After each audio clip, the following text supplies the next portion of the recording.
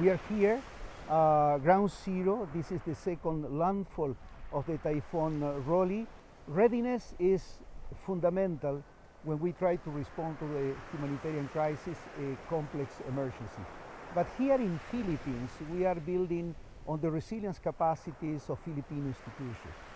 The long-standing experience from the government in addressing this type of shocks, we have the civil society, private sector, extremely active in, in responding to, to natural disasters. The United Nations that is trying to ensure there is a, a coordination of international uh, support to this type of, of shock. Our objective is to make sure that this support complement ongoing efforts uh, made by the government. We have to congratulate the government for preparedness, early warning, for this huge preemptive evacuation of 480,000 people.